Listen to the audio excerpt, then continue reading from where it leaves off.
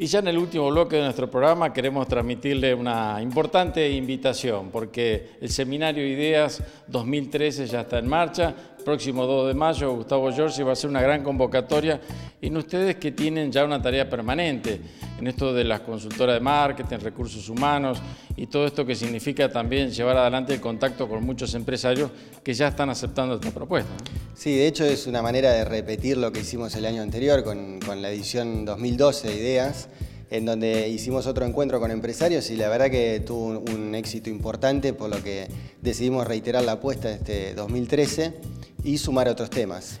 Bueno, y en este caso contamos con el doctor Sergio Berestein, es el director de Poliarquía Consultores. Eh, como sabemos todos, estamos en un año electoral y, contar con datos claros en esto es vital, es crítico, por eso eh, eh, contratamos a una consultora que es una de las más creíbles a nivel nacional y el doctor Sergio Berestein va, a dar estos datos precisos a nivel país.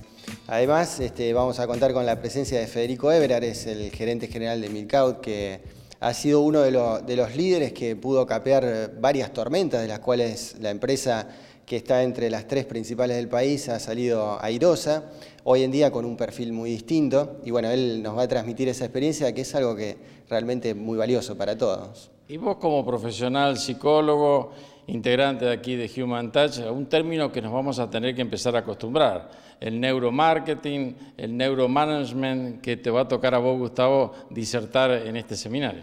Es así, y la verdad que son dos palabras que están muy relacionadas. Este, es la aplicación de todos los hallazgos de la neurociencia a la gestión organizacional. ¿Qué tiene para decir hoy el, panorama científico a nivel global acerca de, responder preguntas claves que son las cotidianas, son las de todos los días? Cómo liderar a, las organizaciones, cómo gestionar el personal a cargo, cómo lograr esa comunicación que logre realmente impactar en la gente y traducirse en acciones concretas. Nosotros decimos que hay una frase que es bastante ilustrativa en esto, que tiene que ver con la administración no solo con la cabeza, sino además con el corazón de una organización.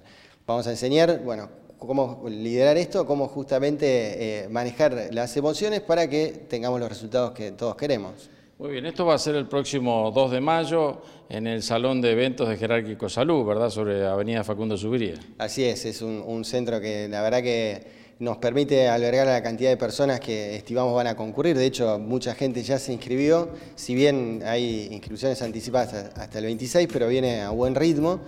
Eh, así que a las 15 horas vamos a dar inicio a este seminario el jueves, 2 de mayo, como decías. Y bueno, eh, la verdad que estamos pensando en cumplir las expectativas de la gente como el año pasado.